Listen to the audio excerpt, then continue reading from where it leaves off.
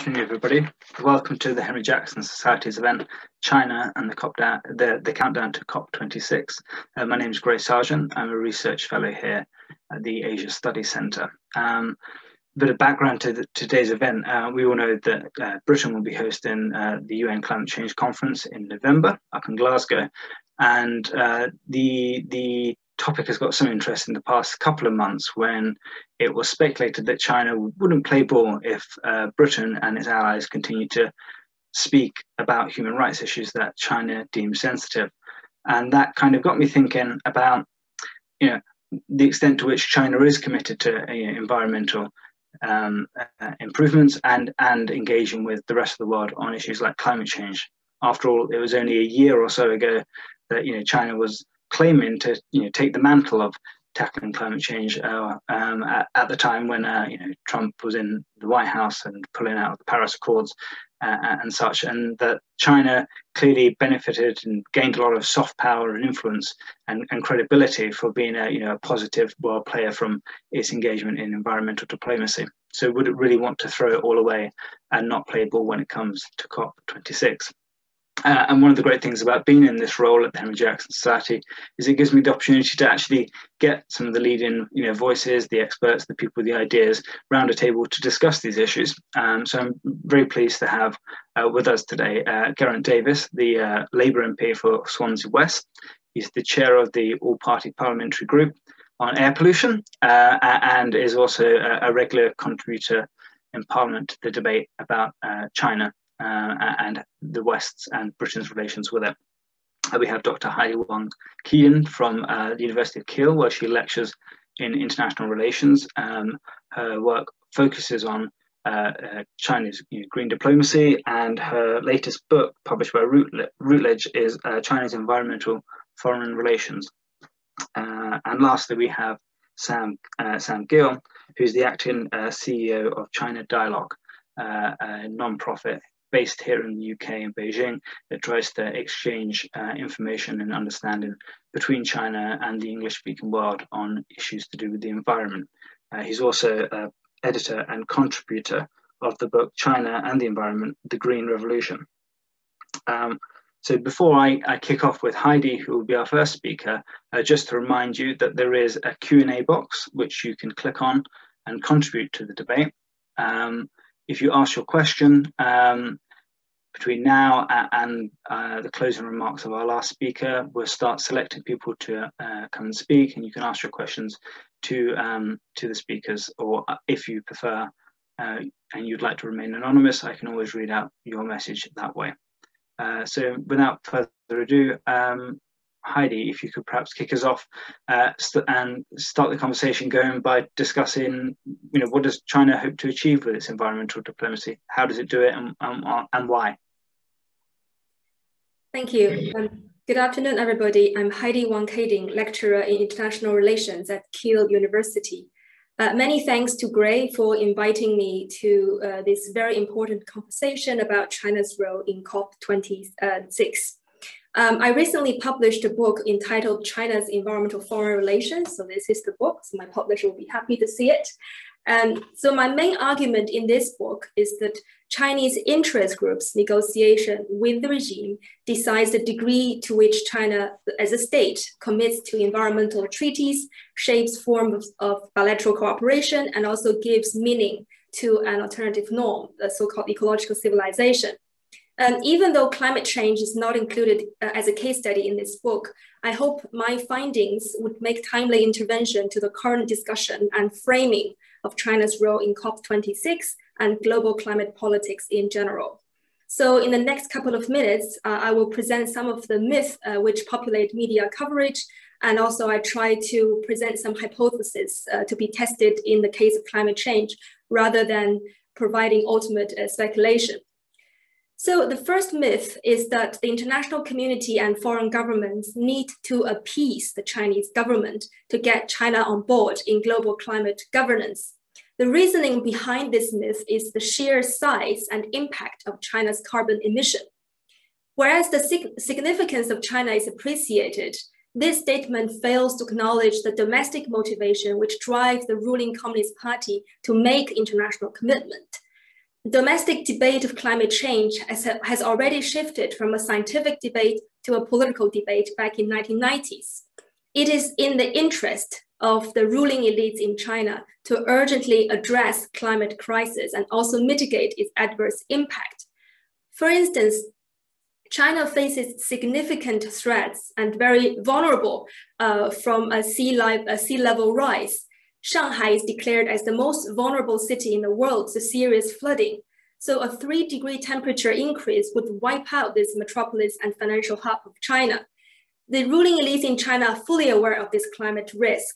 In order to maintain the domestic legitimacy, ignoring climate risk is simply not an option for the Chinese government. Failure to address climate risk undermines the control of CCP and the economic prosperity promised to its population. Now, the recognition of the linkage between climate change and the legit legitimacy of the CCP helps us refute the second myth, which is the Chinese government can hold the international community hostage by imposing conditions on climate negotiation. So this, is, this statement extrapolates the Chinese government's behavior and pressure in economic statecraft to the domain of glo global climate politics uh, the blurb of today's event also highlights the conditionality of Chinese cooperation on climate change, include, uh, which includes a silence on human rights abuse in Xinjiang and Hong Kong. Yet, if we look back to the history of China's environmental diplomacy, the tactic linkage between human rights and environmental issues has also been deployed and used by the Chinese government. The notion of environmental diplomacy is elevated to the diplomatic and political agenda in the aftermath of the Tiananmen crackdown, Tiananmen crackdown in 1989. So the economic sanctions imposed by the US, its allies, and the, interna and the international community pushed the Chinese government into utilizing environmental issues to build a positive image internationally. Environmental issues are used as an icebreaker issue to reconnect China with the rest of the world. In other words, pressure on human rights violation has provided normative and moral incentive for the Chinese government to perform even better in the global environmental regime. So in other words, human rights and climate change are not dichotomy and competing issues fighting for our attention. They are artificially pitted against each other as a diplomatic performance. Now, international pressure still matters because the Chinese government also needs the outside world to actualize national leaders' ambitious pledges um, it is a question of how international pressure can hold the Chinese government accountable to its pledges and international commitment. We need to look out for treaty implementation and standard setting to make an informed judgment and assessment of China's role in global climate governance. As in my book, I compare the treaty implementation between the Montreal Protocol and the Convention on Biological Diversity. And I find that interest groups are key in the compliance of international treaties, and they can mobilize nationalistic discourse to offset the international commitment pledged by national leaders. In the case of 2060 carbon neutrality target, we also need to look at Chinese uh, non-state actors like tech giants. According to Greenpeace and North China uh, Electric Power University, China's data centers used 2% of the country's total power consumption in 2018. So how to implement carbon emission reductions by China's internet firms require action plan and resources. Moreover, they need to benchmark their behaviors against the greenhouse gas protocol.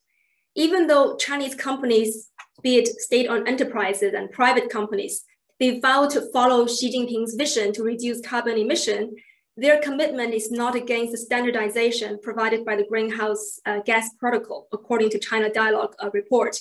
The protocol outlined the Scope 3 standard, which includes both upstream and downstream of their operations, and also it factors indirect emissions in a company's value chain. So it's more comprehensive.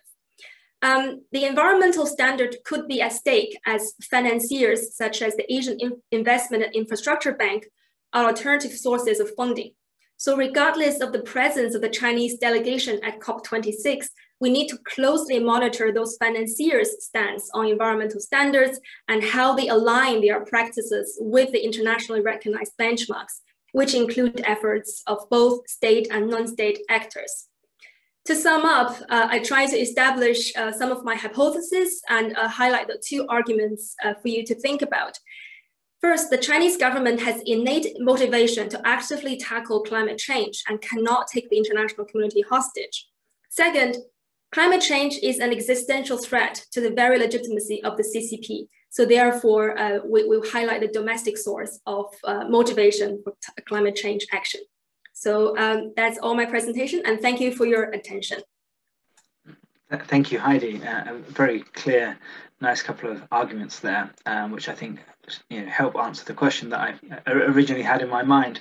Um, our next speaker is Sam. Sam, um, does that align with your the way that you see China's foreign policy, and how does this perhaps innate desire to actually tackle climate change feed into uh, China's behavior when it comes to the run up to COP26. Thank you very much. Thanks for the invitation. And it's very difficult to follow such an excellent presentation. I do mostly agree with, with Heidi's um, sort of thesis there. Um, you know, we're at a very critical moment, uh, five years since the uh, Paris Agreement came into effect, at the moment when there needs to be a so-called global stock take, where we see where countries are and try to ratchet up ambition towards the 1.5 degree target. The target and the, the agreement at Paris to uh, for, for, governments um, to commit to two degrees at least and to aim for 1.5 degrees was unprecedented, that level of kind of historic um, uh, consensus. And that was in no small part thanks to the relationship between China and the United States, um, that of course was brokered between Barack Obama and Xi Jinping. Um, and of course also to a real change in the in the real economy that that um, underlay that. And I think that's you know particularly the falling cost of renewable energy that also um, has a lot to do with the uh, increasing strength of China's own renewable energy industry and the ways that that has brought down the uh, price of clean technologies very dramatically. Um, so, you know, in this sort of moment of, of the run up to the now delayed COP26, there's been a lot of, understandably, sort of watching of what's happening with these two key players. The United States, which of course, you know, um, had uh, signaled that it would withdraw from the Paris Agreement under President Trump and is now uh, back in. Um, and of course, Biden, you know, has recently done uh, this summit with um, world leaders on um, in April, and China, you know, together accounting for some 40% of global greenhouse gas emissions. And the most significant statement is the one that Heidi mentioned, which was um, Xi Jinping's um, speech at the UN General Assembly um, in September to achieve carbon neutrality before 2060. And I think this is really a major pledge. I think it's it's big. I mean, it really um, is significant. It shifts our long-term projections of global temperature rise. Climate Action Tracker found that this commitment alone lowered global warming projections by 0.2 point to 0.3 degrees Celsius. That's the largest single changes recorded from any uh, individual kind of action. And I think it's significant because it was unilateral, um, because Xi Jinping was making this speech alone on the on the world stage at the UN, sort of going head to head with with Donald Trump, in fact, um, with that speech. Um, meaning that it has a geopolitical significance and that it's part of Xi Jinping's sort of political legacy and his sort of signature leadership brand associated with as um, as uh, Heidi mentions, you know, the ecological civilization vision as well. That's also become a big part of Xi Jinping's uh, particular sort of um, uh, distinctive buzzwords. And I think it's significant because it seems to have even caught Chinese bureaucrats by surprise. As far as I can tell, there it wasn't something that was widely expected, but was very quickly fleshed out. So you could see it sending a sort of policy signal through the bureaucracy and indeed a market signal. Um, as Heidi mentioned, you can see that companies then need to start thinking, okay, how do we actually fit with this large overarching goal? Um, we saw shortly after the announcement uh, a group of researchers at, at Tsinghua University setting out a, a roadmap to 2060 that included um, you know, a, a, higher share of non-fossil fuels in primary energy consumption, a um, annual carbon emissions cap, um, and much enhanced kind of decarbonisation measures, essentially, you know, uh, needing the total electrification of, of um, power by mid-century, all of that coming from uh, from renewables and, and the coal fleet being uh, wound down. So clearly, you know, a very significant kind of effort and one that seems to be driven um, by China's leadership. And I also agree with uh, with Heidi that I think most of this you really have to um, associate with strong domestic drivers. Um, this comes shortly after, you know, one of many acknowledgements of China's own vulnerability to climate change.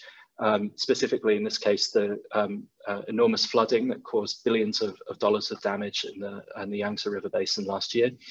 Um, but, you know, also just looking at some of the other major domestic drivers, we have an aggressive low carbon industrial policy uh, embedded in the five-year plans over the last, uh, last uh, you know, decade or two, positioning China as the leading global supplier of clean technologies for a carbon constrained world, um, and, and, and finding enormous political and economic benefit from uh, the expansion of those industries and using that shift uh, away from polluting and energy intensive industries to move the economy up the value chain um, towards innovation and services and to restructure state-owned enterprises. So we see kind of a, an alignment between, I think, top-down political and economic goals, the uh, party legitimacy goals that Heidi mentioned, and, and to be, you know, to be seen to act on issues of public concern, and um, the uh, uh, and, and, indeed air pollution as well, um, and the um, uh, the the, um, the strong you know uh, admission of uh, climate vulnerabilities and and the extent to which actually this sort of environmental crisis also needs to be dealt with. Of course, there is also a soft power benefit, um, but I think I think this this has been overstated. I think there are different ways that the case has been made around uh, you know whether um, cooperating with China in the UN process on the road to COP could be a misstep. I think there is a there's a um, uh, you know a rather lazy version of it, which is just to say, oh well, you know China's commitments you know aren't really worth anything, and and and um, or or to suggest that China's not really doing anything on climate change. And I think that's easily sort of disproven and little more than an excuse for domestic climate inaction. But there is this more sophisticated argument um, that has taken on a greater momentum, which I, I, do think is worthy of consideration at least, which is the suggestion that you know seeking cooperation with China puts other countries in a position of sort of weakness and signals that climate discussions are contingent on concessions in other domains. But I do agree with Heidi that this is a weak basis for future climate diplomacy. I think China does make, you know, or Chinese government, the Chinese government at points makes rhetorical statements to that effect. But I think there's little evidence that climate actions are actually predicated on those kinds of concessions. Um, you know, we can see that since taking office, the Biden administration has continued to challenge China's activities in the South China Sea. It's renewed its security commitments to Taiwan. It's stepped up sanctions over Xinjiang. Yet China hasn't actually stopped, um, you know, its participation in um, on, on, you know, on the climate change front. In fact, it, you know, China met with uh, U.S. climate envoy John Kerry in Shanghai in in, uh, in April, and put together a statement that actually suggested international coordination is seeing China expressing its climate commitments in more assertive terms than previously. The statement in particular included references to fossil fuels as carbon intensive, to climate change as a climate crisis, both characterizations that hadn't been used before in Chinese official documents. We also saw ahead of the Climate Leaders Summit um, President Xi indicating that China would accept the Kigali Agreement to the Montreal um, protocol to phase down the production of climate warming refrigerants. And that was in a video summit with uh, Macron and, and Angela Merkel. Um, at a point when, of course, relations with the EU are also as rocky as ever, and after you know the, the EU has been engaged in a very bitter sanctions row with China over Xinjiang, and indeed the the you know freshly negotiated um, investment treaty seems to have gone into deep freeze. Um, so all of this to me suggests that China's commitment to climate action is motivated sort of primarily by national self-interest um, and that the, the, the, the, coordination over this still has room to, um, uh, to, to, be kept on the table.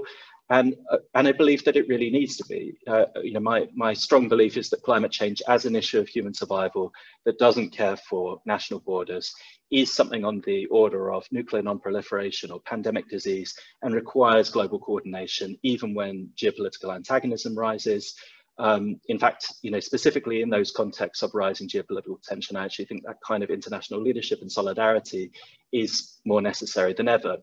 And it's the solidarity point I think I actually would like to kind of end on, which is to say that I think there also is a strong reason to, to adjust one's kind of climate diplomatic um, strategy in this moment, not to um, sort of be seen to finger point at China, which is specifically that actually, uh, you know, really getting the right positioning before COP26 requires showing enormous um, extension of solidarity towards the, the least developed countries and the, and the climate vulnerable countries in particular.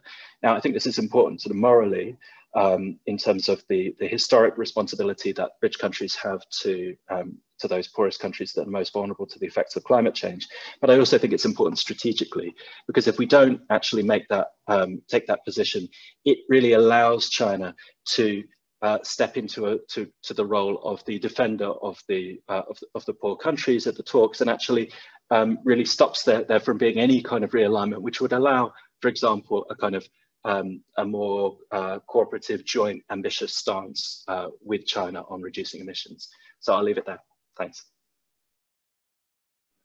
Thank you, Sam. And uh, I've noticed we've, we've already got one question in the Q&A box. So I shall remind people um, that we'll be going to the Q&A after uh, Geraint's speech. So uh, if you could start putting your questions in, we can then um, have them answered by the speakers.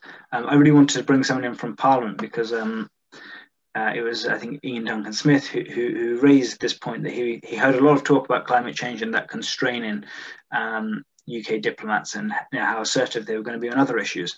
Uh, I think we've discussed already how China has deployed that in the past, but it's not necessarily the most effective argument that they can make. But uh, I just want to get a feel of you know, how does Parliament feel about this, and how does um, what are the views within Parliament of um, whether or not we should um, you know cooperate with China or have perhaps some friendly competition where we try and outdo each other on, on our commitment to the environment. And I know that you've spoken previously about issues such as the carbon tax. So um, I'd very much like to hear your thoughts about the way forward for us. Well, thank you very much. Uh, as been said, I'm Geraint Davies. I, and as has been mentioned, I chair the all-party group on air pollution, which is sort of relevant to this because something like 7 million people die a year from air pollution. But I'm also vice chair of the all-party China group with particular responsibility for the environment and, and, climate change and sit on the EFRA committee. So just to, to, uh, to sort of bring us back to basics, if you like, I think it's worth remembering in terms of the climate crisis that emissions since Kyoto 1990 have grown by 60%. Uh, we agreed in Paris that we tried to keep down the increase by 1.5 degrees, but in fact, versus the 1850 uh, level, in fact, that's already 1.2 degrees and rising at 0.1 degree a year. So at the current trend, we're likely to breach the Paris commitment by 2025. And in fact, um, the increases in temperature over Europe um, are higher al al already than that. So instead of uh, 1.5 degrees, is two degrees over Europe, and in fact, three degrees over the Arctic. And what this in practice means is that in, as we speak today, every second, eight and a half thousand cubic meters, eight and a thousand, eight and a half thousand tons of ice is melting every second in Greenland. That's one trillion tons in the past four years, four trillion since 1993. So we really are accelerating at a phenomenal rate in terms of sea level uh, rises, uh, land loss, food loss, migration and war. Um, and 28% of emissions are from China. Now that's more than the EU and US put together. So US 16%, EU 10%. And then when you add in India at seven, Russia at five, you get the five biggest countries have got two thirds, 64% of these emissions. And it's simply uh, going out of control. I mean, the first bit of good news, of course, is that Trump is no longer uh, you know, you know, causing climate change, and Biden is, uh, you know, basically leading the US, and that can put uh, fresh light on what's happening in terms of China, because the Belt and Road Initiative, by way of example, is generating an extra 300 new coal-fired power stations. That's all very well saying that uh, China is investing very hev heavily in renewables. It is, and I very much welcome that. But they produce, they've, they've got over half the world's coal-fired uh, production and it's causing a bit of a, a, problem in terms of climate change. In terms of the amount of emissions tons per head, we're now in a situation where the UK is at uh, 5.5 uh, tons per head, and in fact, um, China's up to seven. So they're producing more in China than we do in the UK. I think this is slightly unfair in a way because obviously we've greened our energy and we've outsourced our manufacturing. Um, so if you actually counted the UK in terms of consumption rather than production, we'd be at eight. And so this underlines the case uh, uh, the imperative, I would say, for COP26 and beyond to factor in carbon pricing into all trade deals uh, in order to incentivize people or countries to produce, uh, you know, greener greener products and accelerate uh, away from a climate disaster that is really very much on our doorstep. Um, so China, in a nutshell, has, uh, China said, okay, uh, and we just heard from the last speaker that you know they will not be net zero, by the way, but carbon neutral by 2060. Net zero is a different thing. As carbon neutral being that they'll offset uh, any carbon they will produce, as opposed to they won't produce carbon. But it, by 2060, well, in terms of the numbers I've just been given and the date ranges I've been talking about, namely 2025, uh, that's not soon enough. And what's more, uh, the Chinese the Chinese are saying they will peak production uh, at 2030. And one of the deficiencies of the Paris Agreement was that they didn't price in carbon. So we've got these countries that have got uh, richness in in coal in particular, and talking about China, India, and Australia, who incidentally, Australia, which is the highest uh, carbon per person at 17.5 tons per person have got an incentive to sort of keep on burning coal, which they are. And, and so China now has got an incentive to keep on burning more and more coal until 2030. Well, I mean, you know, it simply isn't sustainable. Um, and I know there's a conversation about, oh, are they going to use, you know, are they going to get upset about what that's happening in, in, uh, in terms of human rights abuse and democracy in Hong Kong and play this? And I'm sure they will.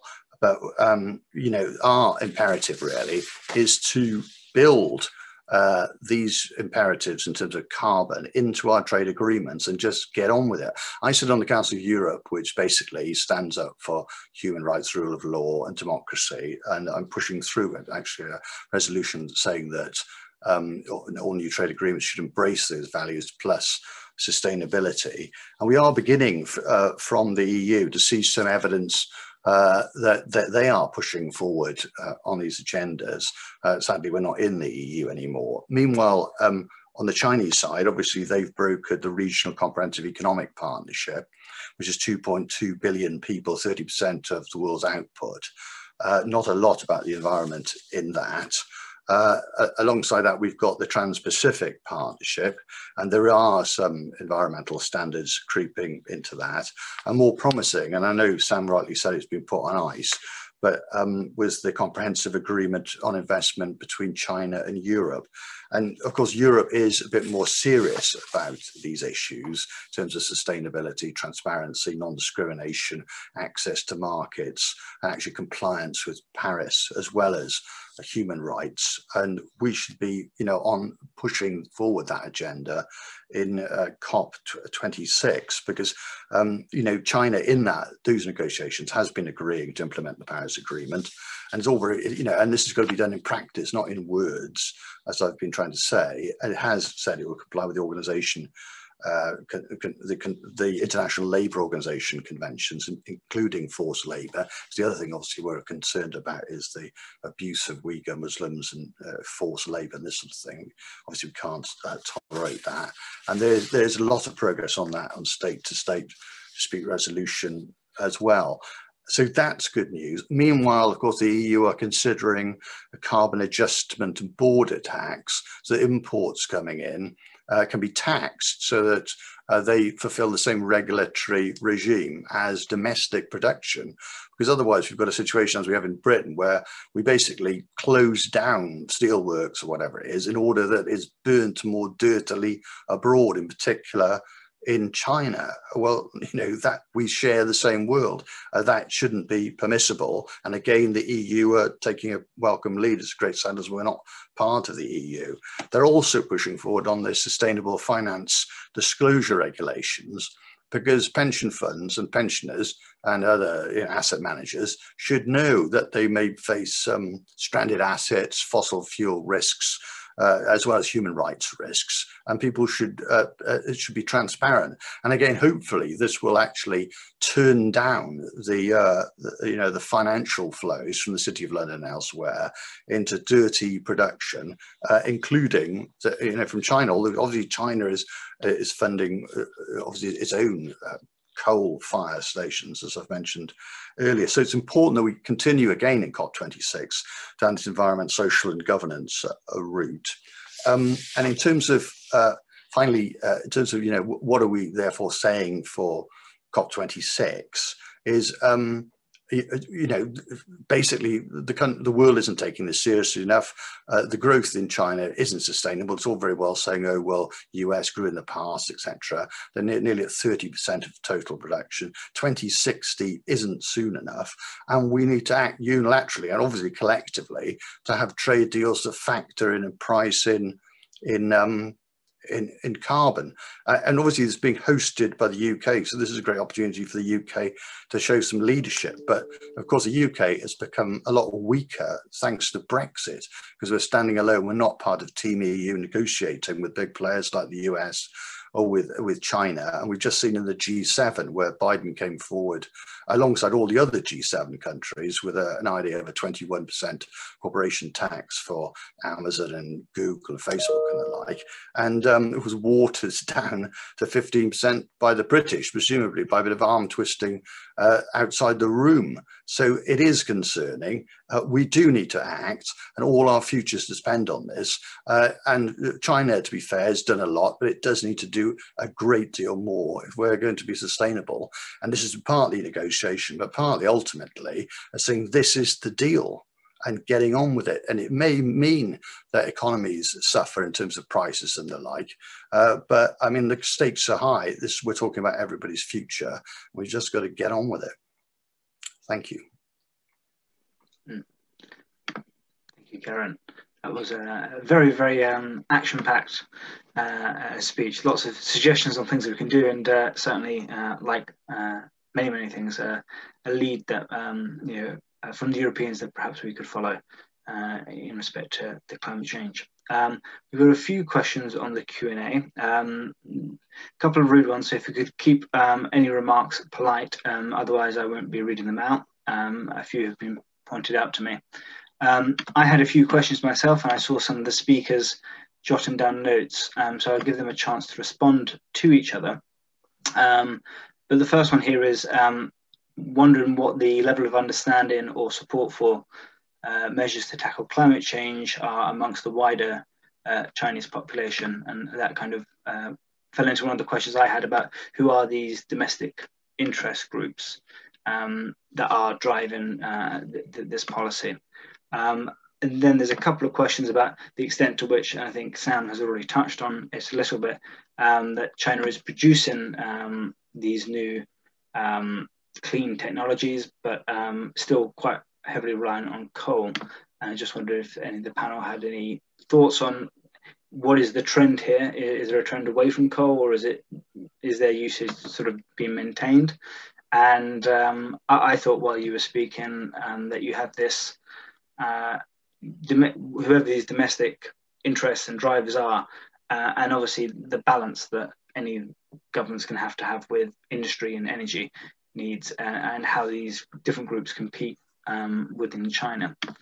And then um, I think perhaps the second one about Pakistan uh, links to the point that uh, Geraint was making about uh, the Belt and Road. Um, and I think that is probably it for the, the questions so far. So if anybody else has any more questions, please do put them in the Q&A Uh, otherwise, we'll throw it back to, to Heidi to deal with some of the issues that have uh, come up. Great, thank you, Gray, and thank you, Sam and um, Geraint, for these excellent uh, uh, remarks. Um, in terms of domestic support for climate change, um, I think um, I can answer in two perspectives. The first one is the promotion of climate change domestically from top down. So as, as Sam has mentioned, ecological uh, civilization as a term uh, has been really important in also educating the domestic public uh, in cultivating the environmental awareness and also to translate that awareness into concrete action. So um, if you look closely on the everyday experience of people living in China, you can already see some efforts um, uh, from top down. So for instance, uh, recycling, um, it, it's already intertwined into everyday uh, rubric. Um, but that has been very much uh, implemented from top down rather than bottom up. Uh, there are efforts from civil society groups to promote this agenda and, and get it more widely implemented. But uh, the most effective um, uh, drive is still a very much uh, coercive uh, measure from the central government to trickling down to local governments. So the second way to answer this question is the importance of civil society actors. So they can really help um, compensate the lack of uh, manpower and resources of local governments and can also uh, start very meaningful local initiatives to make sure climate change is not only a high politics, it, is, uh, it requires everyday participation of every ordinary citizen. So I think the space for civil society uh, groups is still very much important in the implementation of climate change targets and also in the um, yeah, everyday behavior of uh, how to collectively um, uh, tackle climate crisis. So I will pass the floor to maybe Sam um, for the other questions. Thanks. Um, yeah, so on the, the, the question about um, clean technology, I mean, I, I guess the, the basic response would be to say, well, you know, you can look at the numbers and you can see that, uh, you know, China's become the largest investor in renewable energy in the world, um, the largest producer of um, uh, solar PV modules and wind turbines, uh, has the largest deployment every year by by long, you know, by, by actually more than every other country put together typically, um, you know, continues to to exceed its uh, its targets every year on renewable energy deployment. Um, when it gets more into the R&D, the share of R&D as a percentage of, of GDP is growing while it's while it's falling in, in Europe and in, and in the United States. Um, if you look at the sort of advanced um, papers and patents and so on, uh, there's there's a lot going on in the renewable energy space as well. Um, there's a bit of a of a dip between the advanced patent kind of level stuff and the and the commercialization. That's actually pretty standard though. That's kind of uh, something that people see across innovation systems kind of anywhere in the world. But of course, it's also true that there is enormous amount of, of research going on in fossil fuels, and indeed there are lots of um, that there's a, you know an extent to which China is both at home and abroad doing kind of all of the above. Uh, you know, it's it's a a very rapid growth, and there is there are still very powerful fossil fuel interests, and I guess that the the thing I probably should have um, emphasized more in my initial remarks is that you know China's government is very far from monolithic. Um, it's probably best described, I think, uh, you know, as fragmented authoritarianism, right, where you've got um, uh, you know a, a, number of different poles of power, and the fragmentation is both vertical and horizontal. That is to say, you know, there's vertical fragmentation, i.e. between different elite interest groups. There's often, when you look at policymaking in China, protracted bargaining between different lobbies, whether it's, uh, you know, uh, coal lobby uh, um, uh, and, and renewables, or indeed different uh, different state-owned companies or between private and state-owned companies. And there's, there's a, a, significant horizontal fragmentation as well between central and local. And you see that play out all the time politically where, you know, for example, new coal-fired power plants will be um, approved at the local level and then a central level regulator will kind of swoop in and uh, and cancel them. And again, you get this push and pull often around questions of kind of jobs and sustainable and and uh, social stability. Um, you know, the pressure for tax revenue for for um, uh, uh local governments and so on is is you know is big. A lot of the, the the growth that we've seen in China's reform era was basically unleashed through quite unprecedented devolution to uh, to the local level. Um, uh, that you know created very powerful collusion between polluters and, uh, and, and local governments. That the you know environmental bureaucracy pushes against at various points, but also isn't necessarily powerful enough to push against at certain points, and so you get into questions about how you know, uh, you know precisely how the, the kind of structural alignments are done in order to try and get environmental policy to outweigh, for example, growth at all costs. And, and that's, you know, where a lot of the, the kind of um, arguments taken place.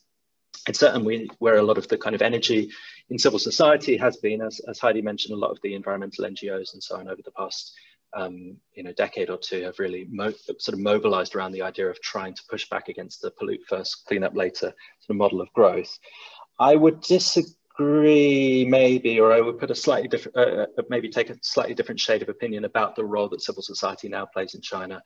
Um, you know, I, I um, certainly have seen very active uh, and, and have a huge amount of respect for the very active environmental civil society that sort of existed in the past decade or so. But that space has really been shrinking in the past uh, in, in the past five, ten years, unfortunately. Um, and the, the scope for those actors to really um, uh, sort of affect policy, unfortunately, is, is, is, less than it once was. Um, but uh, uh, uh, the, the only other thing I guess I would mention is that this, you know, an understanding of that lack of a sort of monolithic policy making is also necessary for really understanding how to tackle the Belt and Road Initiative, because I also do not think that that is a monolithic sort of master plan. It's much more an outgrowth of um, overcapacity in Chinese industry, um, and the need to create a kind of escape valve for, for capital to, to flow into new markets. That again has a lot of different actors involved, uh, from from you know state insurance companies to to state-owned enterprises to private enterprises and and so on. And the attempt to regulate it is an evolving set of policies. And you know that there are progressive actors in China, just as there are domestically um, overseas, looking at how to put in better policy that could you know so-called green the Belt and Road Initiative. Um, and you know, the, the what I would say to people sort of trying to work internationally with, uh, you know, particularly in government roles with China, is to try to see where you can strengthen those progressive actors. Um, because I do think that um, that that it's still possible, and I do think that that, that they exist in in various uh, sort of sectors and in parts of government um, who are trying to, to to create better rules and try to create a different vision of how to um, uh, how to create you know so-called ecological civilization. That's great. Uh, Geraint, I saw that you. Yeah, I got uh, yeah, I got a couple of quick comments, if I may. Um, I mean, obviously, we, we need to try and coax and uh, and incentivize China into uh, speeding up its its greenness, as we do all other countries, and obviously Pakistan has been mentioned. Uh, quite reasonably in the commentary that they've got a lot of coal. So I mean, but the, the the idea that people sitting on a lot of coal will therefore, you know, burn it all, if that's the truth, then we're all dead, aren't we? So we do need to provide a sort of incentive system and carbon pricing and trading and uh, uh, consumer awareness and technology transfer and support uh, for countries moving forward so that they can jump forward in terms of productivity on a sort of green trajectory. Now, of course, these sort of things are uh, easier said than done, but if um, the rational expectations of um, Chinese economic planners are that, for example, people in Europe, uh, the countries in Europe will not only have carbon pricing in their trading agreements, but also um, carbon awareness amongst consumers, because consumers are going to respond to both price and sentiment. Mainly, it's mainly price, admittedly, but people think there's a choice between a sort of dirty product from further afield and a cleaner product from local. They'll buy that. So the producers of that, in, in, for example, China, um, should respond to that. Uh, just a couple of other very quick comments. Um, somebody mentioned, uh, in, I think in the commentary, the issue about uh, you know research into fracking, and indeed we still got consent for fracking in in Britain. I mean, in a nutshell, um, methane produces 80 times more global warming than carbon dioxide, and 5% of uh, methane is lost through fugitive emissions in fracking, according to the satellite uh, imagery, which implies that fracking is significantly worse than coal for global warming. So fracking is something that none of us should want to happen. And if there's a methane emissions, of course, as the ice sheets melt over Siberia and the like, uh we're heading towards a catastrophic emergence of methane that will massively accelerate uh, global warming. Uh, again, we've got this issue with Russia. It, it's sort of very dependent on fossil fuels. I mean, clearly it would be better if, uh, for example, infrastructure and construction was built out of wood, which actually uh, is a stores carbon as well as obviously when it's growing it absorbs it um, instead of concrete, which if it was a country would be the third biggest emitter of global uh, warming gases.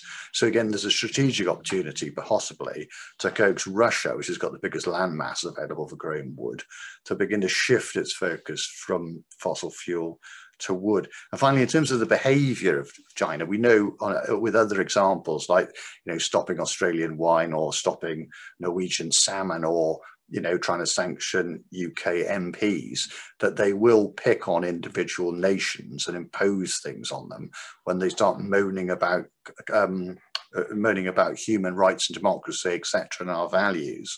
That's another great problem for leaving the EU, because if they attack uh, I don't know, um, uh, British parliamentarians, we're part of the EU, there's a natural mood that we all stand together as one and support our values. If, if we left because we think we know best, we're obviously in a much weaker weaker position and we should be aware of that. And then uh, but we need to have stand side by side with Europe when we're saying these things about trade about consumers. To create an environment that, that, that it's in Chinese interest to accelerate towards green technology. And they're doing a great deal already, I know, as Sam has said, but just trying to sort of turn down the, the, um, the development uh, of coal. I'll leave it there. I've gone on too long. Thanks. That's great. Well, we've had a couple more questions in the Q&A. Um, uh, both anonymous, so I shall read them out. Um, but perhaps I'll start off with my question that I had.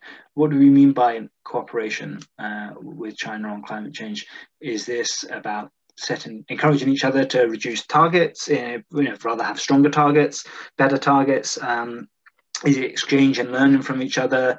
Is it you know sharing technology, that sort of thing? So if, if we talk about going forward and cooperating with China, what does that actually mean?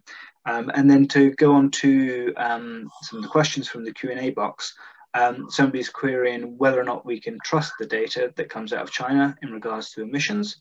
Um, and then a final one, um, and predictions are a, a, a dangerous game, but uh, they asked the, they've asked the speakers to, to reflect on their thoughts on whether or not there'll be any uh, landmark commitments from China or the rest of the world uh, in, in COP. So that might be quite a nice question to, to finish up on. So um, we'll go back in the order that we started. So um, Heidi, would you like to kick us off? Thank you, Gray. Um, in terms of the meaning of cooperation, international cooperation, I want to highlight it is um, multifaceted and it involves uh, more actors and players than what the media has projected. So in terms of treaty, it means both the ratification and also implication, uh, implementation of the treaties, and it involves both uh, multilateral and also bilateral cooperations. Uh, China is very keen on leading bilateral cooperation and also establishing its leadership position in the developing countries and also increasingly in the more developed world, like a global leader. Um, and also it means uh, to share the urgency uh, with um, other countries, like what uh, Sam has mentioned, uh, to build solidarity with um, least developed countries, most uh, countries which are even more vulnerable than China to climate uh, crisis. Um, and, um, and also it is both about uh, state actors and non-state actors. Like I mentioned, interest groups in China, transnational actors um, uh, to, to push the, the agenda forward and, and um, materialize into concrete action and action plans. Um, and in terms of um, uh, data. Um, I think I, am not following as closely as Sam, but I think uh, there is incentive for the Chinese environmental bureaucracy to record uh, data as much as possible so they can monitor closely. And also you need to triangulate the data from official sources to other uh, uh, academic institutions, etc. And in terms of prediction, um, I think um, it is very um, costly for the Chinese government to not commit to the COP26 uh, uh, conference and also the agreement. Um, because as you have mentioned, I think um, uh, Jared, uh, has also mentioned that China has been very keen to present itself as a leader and, and to implement Paris Agreement. So uh, the, the, Chinese government has to come up with a very strong counter narrative of why this non-commitment uh, suddenly uh, becomes reality. So I'll end there. Thanks. Thank you, Heidi. Sam. Thank you very much. Um, yeah, to start on, on what what's cooperation, I suppose it's it's all of the things you mentioned. You know, it's it's about jointly ratcheting up ambition on targets. Um, it's you know should be active technical cooperation on things like clean energy, um, technologies. It should be trust building as well in a context of kind of growing geopolitical tension. Uh, as, as I mentioned, I think there is an, uh, an analogy to um, nuclear non-proliferation and other sorts of, of channels that we um, you know, believe in keeping open even when, when geopolitical sort of antagonism grows because this is an issue of planetary survival. And I think as a result, kind of even quite small technical cooperation is often important just as, as in as something to keep on the table um, and to not trade off against other political issues. Um, on uh, and, and I guess I would mention though that, that you know that, isn't to say that cooperation is uh, mutually you know exclusive with competition. I think there should be competition on, on, on climate change as well.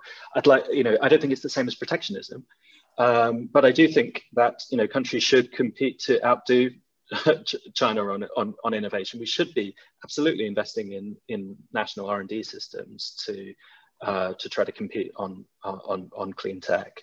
I do think that we should be competing on deployment.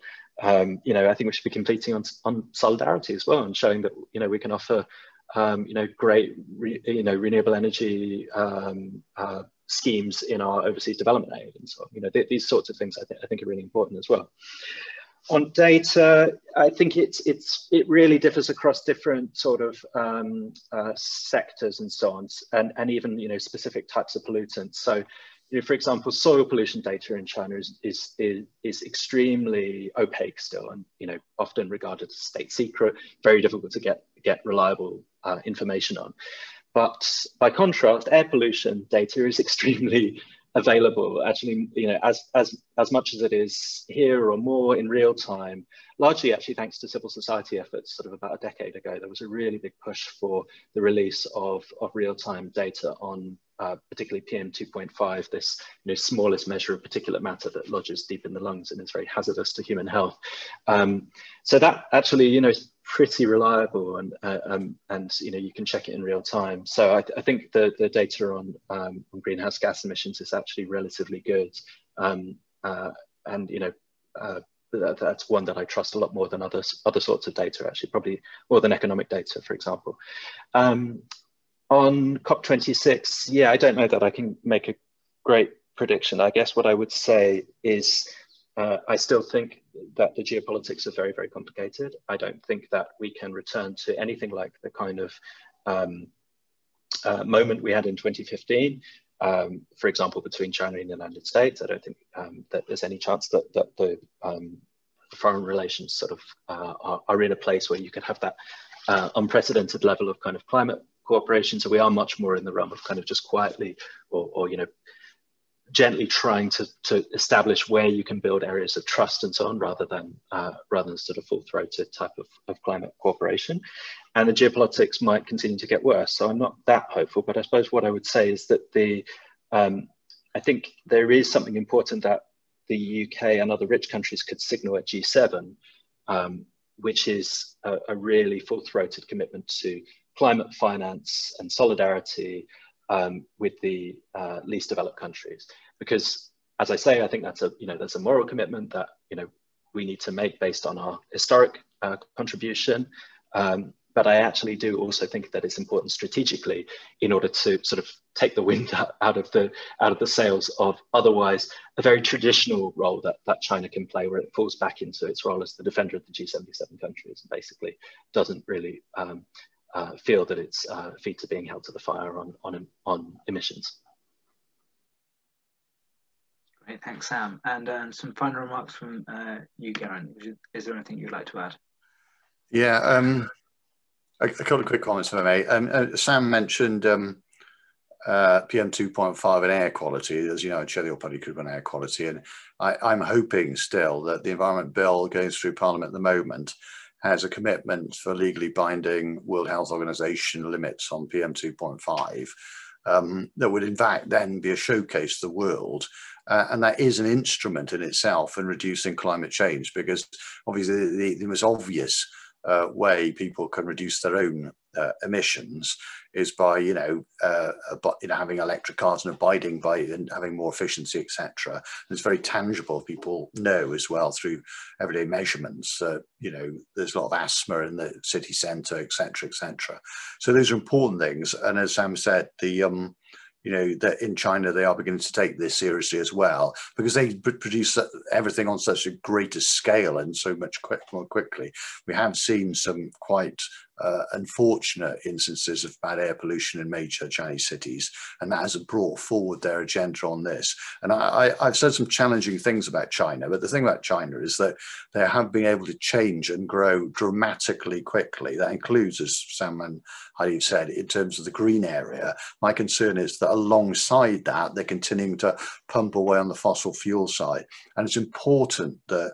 Um, we uh, factor in the price of carbon and the price of destroying our you know world into products. I mean ultimately we're all responsible for climate change because ultimately climate change is because we're burning fuels either to drive around or to, or to make products that we consume.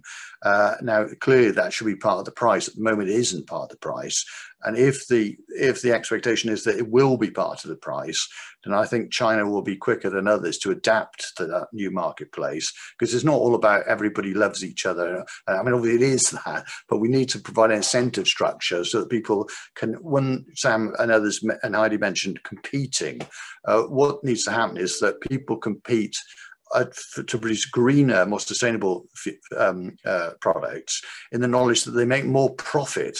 I mean, all, let's all compete on this and it'll be nice. I mean, I'd love that, don't misunderstand me, but we've got to create an economic regime and a trading regime and a consumer uh, awareness that fires that. Uh, then immediately uh, the, the, you know whatever Chinese producers will say, look, we want to sell more, not less in the EU. Unless we're leading on that, we won't. Um, so, and finally, on targets themselves, I think targets themselves, you know, some people say, oh, what's the point of these targets? But if there are binding targets, then people are very much, as with the air quality targets, you know, if there's CO2 emission targets, uh, you know, basically groups of uh, industrialists and politicians and others and planners and organizers sit round tables and say, well, how are we going to do this? And then they come up with a plan and they've got to deliver it. So we do need binding times. Now, finally, sadly, uh, in terms of 2015, the French um, you know, did a great job in the run up in the two years or so before, running around doing diplomacy, arranging things, and this great Paris Agreement. And even though we've had an extra year due to this tragic pandemic, uh, the fact is that this the UK government hasn't really taken the opportunity to really do the prep, to get people together, set the agenda, and make a historic change for sort of global Britain, so called, to help the world succeed.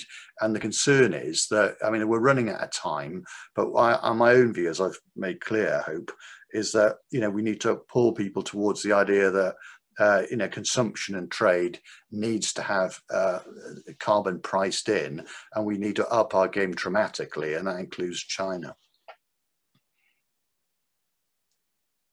That's great, and Geraint, you've just taken us up to the hour, um, so that's perfect timing.